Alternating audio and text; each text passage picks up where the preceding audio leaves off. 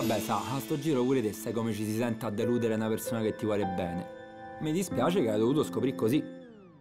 Madonna, Zè, ma che cazzo gliene frega di me, de te, de noi, alla Mazzetti? Lei ce l'ha un figlio e non sai te. È un coglione che va a zecchino d'oro vestito da Renato Zero.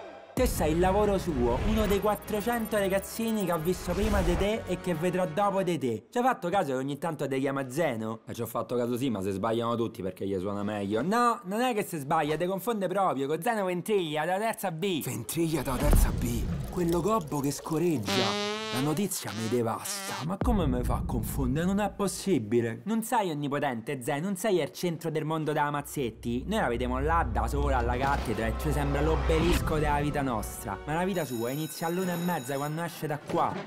Te sei un numero in mezzo all'infinità dei numeri. Tolto a tu madre non gliene frega un cazzo a nessuno se pigli 4, 8 o 10 a matematica.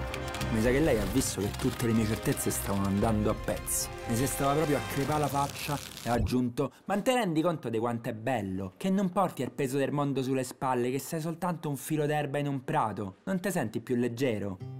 Io non lo so se era proprio così, magari certi insegnanti stanno più in fissa di altri, però mi ricordo che quel giorno in effetti ho pensato che c'era qualcosa di incredibilmente rasserenante nell'essere solo un filo d'erba, che non faceva la differenza per nessuno e non c'aveva responsabilità di tutti i mali del mondo. See the ghost up on the hill.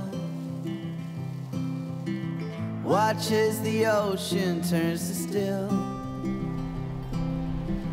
Watch as the fire burns to